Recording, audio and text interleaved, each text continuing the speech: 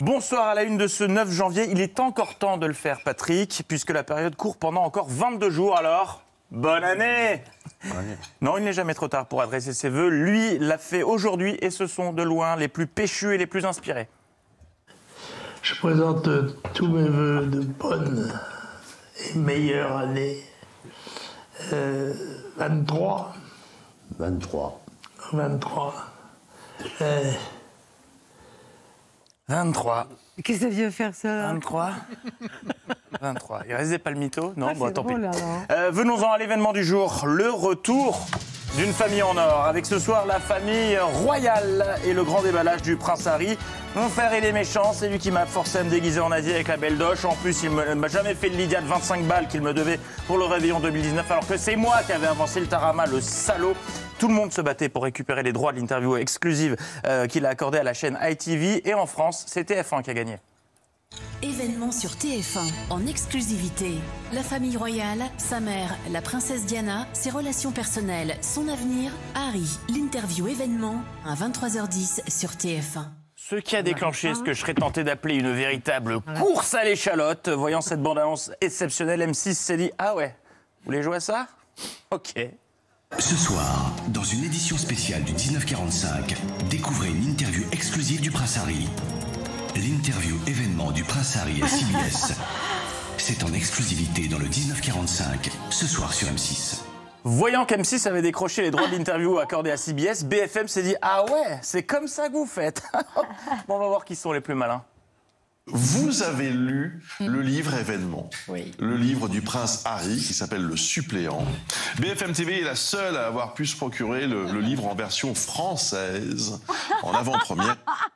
Voyant que BFM avait pu lire le bouquin en français, France Info s'est dit Ah Quiere jugar Vale, vale.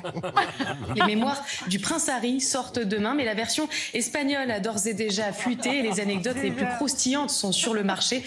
Voilà, tout le monde. en- Et enfin, voyant que. Eh non, CNews aurait bien tenté un truc, mais ils n'avaient aucune exclue. Tout avait été fait. Ils ont tout de même réussi à arriver sur le Prince Harry en partant de Noël Le Graët.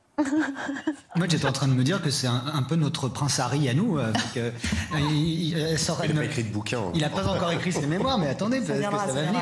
Oh, puis ça n'a strictement euh, aucun rapport. Mais pour la performance, je mets un 10. Dans le reste de l'actualité, si vous ne comprenez pas tout sur le dossier de l'énergie, rassurez-vous, il nous reste des ministres pédagogues. Considérez que j'ai 8 ans et expliquez-moi pourquoi il faut rester dans ce système-là. Alors j'imagine que vous avez 8 ans. Ouais. Il faut rester dans ce système-là, euh, même si ce système-là, il faut qu'on le change de l'intérieur. Donc il n'est pas satisfaisant déjà, je vais vous dire un truc, il faut qu'on le change. La meilleure façon de le changer, c'est de rester dedans pour le changer, ça n'est pas d'en sortir, même de façon temporaire. Alors, euh, madame, j'ai 8 ans et je, je comprends rien là. Au cœur de l'Europe, il y a la France, il y a l'Allemagne, on est très dépendant des autres. Vous voyez la géographie de l'Europe.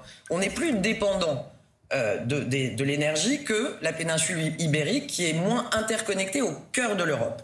Voilà, donc pour Olivia Grégoire, s'adresser à un enfant de 8 ans, c'est parler exactement de la même façon qu'on parlerait à un adulte, mais en articulant plus et en faisant des gestes. C'est un peu ce que je fais quand je, je cherche mon chemin dans un pays dont je ne maîtrise pas la langue. Tout le monde fait ça, vous voyez, le truc de I want, aller dans cette rue. I don't speak French. Aller dans cette rue. Quelle belle blague. Et puis c'est l'autre dossier du moment, la réforme des retraites. Et j'espère que, vu, et vu le. Non, non, ça c'est nul. Passons au 11. Non. Ah si, non, si, si. Ah bon. Même en montage, je le sentais moyen celui-là. Euh, Olivia Grégoire ne souhaite pas répondre euh, parce qu'elle a un de ses agendas en ce moment. Alors clairement, si vous êtes pote avec elle, ne comptez pas sur elle pour vos 2500 prochaines soirées. Vous savez, moi j'ai les PME, le commerce, l'artisanat, le tourisme, les indépendants, les professions libérales, la consommation, l'inflation, nos TPE, nos boulangers, nos restaurateurs. Ça suffit amplement à la ministre que je suis. Oui, ça va. Et moi, j'ai des chroniques, des cours de Zumba, du Pilate, aquagym, et squash. Ouais, non, je sais, on n'y croit pas. Et si le dossier des retraites vous passionne, bloquez la date de demain à tout prix sur vos tablettes, car BFM organise l'événement de l'année. Les retraites au cœur d'une journée spéciale demain sur BFM TV dès 6h et jusqu'à minuit. Point d'orgue à 17h30 avec la conférence de presse d'Elisabeth Borne. Une journée spéciale retraite de 6h à minuit où on va se marrer. Et quand ta journée spéciale démarre à 6h mais que ton point d'orgue est à 17h, Ça promet quelques ventres mous. Ouvrons notre grande page jeu télé. C'est un syndrome qui touche tous les journalistes, de nombreux journalistes en ce moment, qui se rêvent en animateur télé. Hier, comme chaque dimanche, Jean-Baptiste Boursier a joué au Camoulox sur BFM avec Ah. Éric Dupont-Moretti, qui vraiment, le- vu son temps de réflexion, pensait vraiment qu'il y avait de la thune à gagner. Je vous montre trois photos. Vous allez en choisir deux sur les trois. Cacamou, cacamou, cacamoulax. Le portrait euh, de Michel Houellebecq, celui de Didier Deschamps, et euh, au milieu, vous avez euh, la ville de Pantin. Quelle première photo choisissez-vous, monsieur le ministre? Oh, J'ai plus de joker en plus. Euh, Houellebecq, peut-être? Ah oui, il pensait vraiment qu'il jouait pour de l'argent. De son côté, alors qu'il était question du prix du tabac, le 13h de TF1 a relancé le juste prix. Est-ce que vous savez ce qu'on peut acheter avec 23 paquets par mois pendant 4 ans?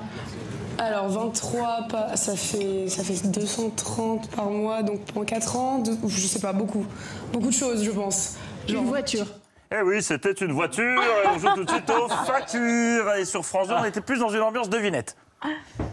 Regardez, vous allez tout de suite euh, comprendre, Julien. À votre avis, qu'est-ce que ces trois objets ont en commun? Alors, pff, j'en sais rien, puis j'ai vraiment autre chose à foutre que trouver le point commun entre un- euh, une boule à facettes et un karcher. Mais le point commun était que ce sont des objets qu'on n'utilise qu'une fois par an. Donc il y a des entreprises qui les louent, comme ça, à l'occasion. Ah Bah, certaines personnes. C'est quand la dernière fois que t'as. Oui. t'as payé? Une fois par an. Moi non, mais ah oui, bien sûr. Et TF1, et ça, ce sont mes préférés. Et ils ont remis à l'antenne euh, notre jeu préféré, Vincent. Alors vous, c'est le maillon faible, mais je sais que vous l'aimez celui-là aussi. Pyramide. Allez, en trois briques.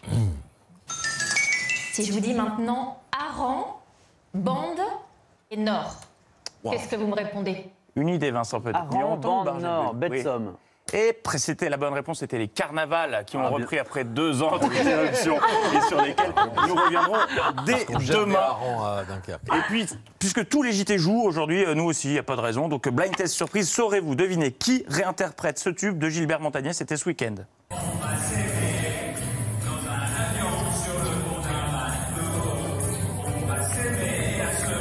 C'est un homme politique. Oui. C'est pas à la tâche, hein. Euh, c'est un homme politique. C'est un homme politique. De droite, de droite. De droite, il est de droite, oui. Éric Ciotti. Et non, il est du Nord. Xavier Bertrand. Oui, c'est une bonne réponse. Ah là là.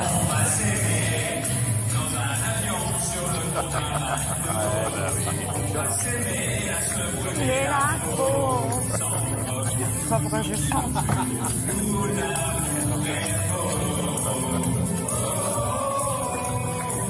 Il était pas mal sauf sur le waouh Euh, On referme ces actualités avec la polémique du week-end. Vous en parliez en début d'émission, les propos du président de la FFF, Noël Legrette, à propos de Zinedine Zidane hier sur RMC.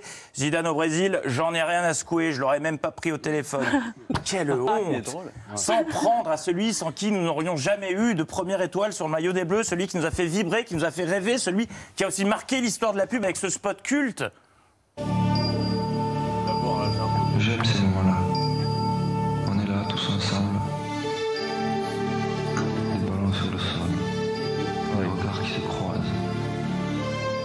Ça, je fais ça aussi, moi, pour. euh, D'abord la jambe gauche. Oui. Toujours. Chaussettes, chaussures. Puis la jambe droite. Et puis une gorgée de Volvic. Toujours. Alors, euh, comment expliquer ce naufrage de Noël Legrette Eh bien, c'est tout simple. Si Zizou euh, avait son cérémonial avant les matchs, Noël Legrette aussi a des rituels avant les interviews. J'aime ces moments-là. Elles sont là, tous ensemble, des ballons sur la table, des ricards qui se croisent. C'est toujours les mêmes gestes. D'abord le bras gauche, toujours. Puis la main droite. Et puis une gorgée de côte du Rhône, toujours.